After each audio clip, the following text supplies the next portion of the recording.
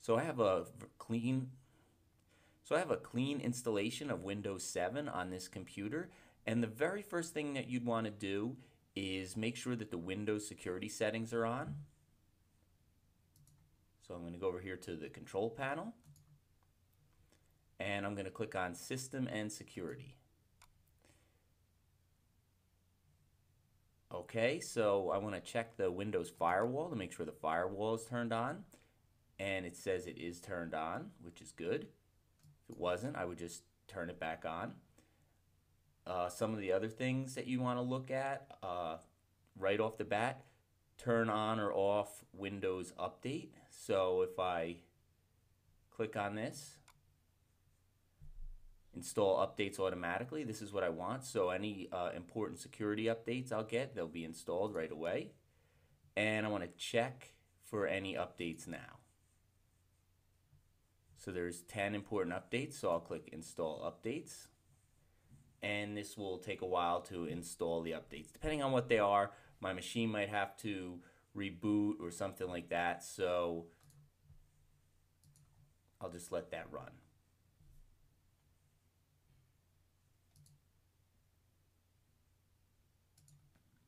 Okay, so the Windows Automatic Updates finished installing and rebooted my computer for me. So now I have my firewall turned on, I have all the latest security and stability updates downloaded. I'm ready to do a couple other things. One of the most important things that you can do to keep your computer safe and healthy is install an antivirus software and there's some other security software to install. So I'm going to go to the web to install this. Now this is a topic I covered in a previous tutorial. It's a site called Ninite.com. There are tons and tons of uh, useful free software applications that you can make a bulk installer for. Just bundle all these up into one thing. It's like three mouse clicks and it'll install all these different applications at once. So I want to talk about some of the security things that you really need to install on your computer. Uh, I took the Microsoft Security Essentials Pack. Um, AVG is the uh, free antivirus software. I think it's the best one out there, as good as any of the paid ones. Uh, Avast is another one that's similar. I just like AVG a little more. Uh, Malwarebytes will check for uh, spyware and things on your computer. Spybot will also do that. And then I just grabbed a couple of these other things. Uh, so Flash, .NET, Silverlight, and Java. These are frameworks that uh, lots and lots of different applications are going to need to run. So you might as well just install them now. It uh, just a couple extra mouse clicks, and that's all it takes. And when I'm done, I'll just come down to the bottom and click Get Installer and download the installer. So once the installer is downloaded to my computer, I'm going to run it. I'll close Internet Explorer. I'll double click the installer to launch it. And I'll click the Run button to start the installer. Security in the system is going to ask if I want to allow this to run. I do, so I'll say yes. And it will begin downloading and installing all the applications that I configured. This might take a little while, but this is the last button that you'll have to click and it will do everything else for you automatically. Okay, so now that all of your applications have finished installing, you can just click the close button here and close that. And I want to set up some of these applications to protect and maintain the computer. The first one I want to start with is the AVG antivirus, so I'm going to double click on that. So when AVG opens up, there's a couple different places you can click. If you go to Overview, it will say Antivirus Database is outdated. So if you click update, it will go out and get the latest updates for the antivirus. So once all the updates are downloaded and installed, you're ready to go. If you want to do a manual install, if you want to do a manual scan, you can click on computer scanner and scan the whole computer, or you can select specific files and folders to scan and you can look at your scan history, things like that. So basically you want to just turn this on, set the updates, and it will take care of itself. It'll be running, you'll see it in the system tray when it's running. Now, another important application that you want to install is a spyware tool. So if I click on Spybot Search and Destroy, so when Spybot Search and Destroy opens up, you want to do a couple things. First thing you want to do is just like the antivirus, you want to search for updates. If there's any updates to the software or the spyware definitions. It will pull them down for you.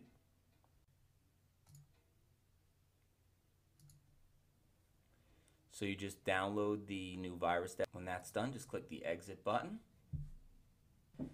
And when that's done, the software will restart itself. So you can do just like the antivirus. You can check for spyware here. Just click check for problems and it will scan your computer. You can just say yes. It will just run a quick scan. And if there's anything there, it'll tell you about it and it will let you remove it. So that's about it. I want to launch another application, Malwarebytes, which is an anti-malware software. So this will run a scan of your computer to check for any malware. You could go to update, check for updates. This is the same for any of these kind of software. They need the latest list of bad stuff to look for. So if it's on your computer, they can find it. So when it's updated, you can just click scan. You can do a quick scan or a full scan and it will check your computer for any infections. And it's pretty much like the antivirus or the spyware. It just runs its course, and if it finds something, it will give you instructions and it will remove it for you usually. So those are some of the main security applications that you'd want to install on your new computer. Uh, another thing that you'd want to do is some maintenance applications, and I'm going to talk about them next. Okay, so once you've finished installing and turning on your antivirus, your spyware, and your malware software, there's a couple other things I want to talk about after you've been using your computer for a while, uh, junk starts to build up and other wacky things start happening with your computer. So I have two applications here that you should run probably uh, once a week or once every two weeks to keep your computer running as good as it can. The first one is CCleaner. This is one of my favorite Windows applications and it's free. What CCleaner does is clean up all the junk files and cookies and all kinds of junk on your computer that you don't need there. So in the cleaner tab, you just click uh, analyze and it will show you all the stuff that needs to be cleaned from your computer. I shouldn't have too much stuff there. I just installed Windows about an hour ago.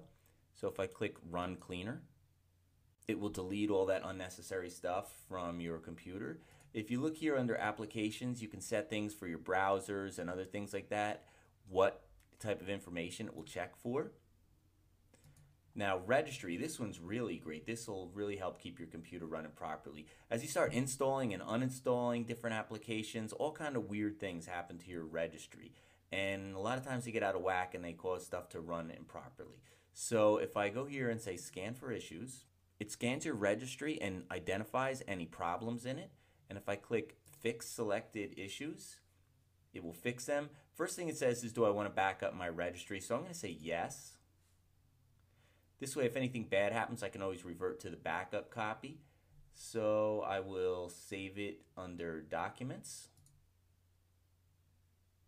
Then I want to fix all the selected issues. They've all been fixed, so I'll hit Close.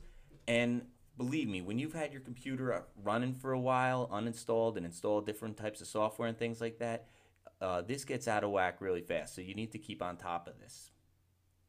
Uh, under Tools, there's another couple useful things. For uninstalling, if you find an application you don't want, just click on it and hit run uninstaller.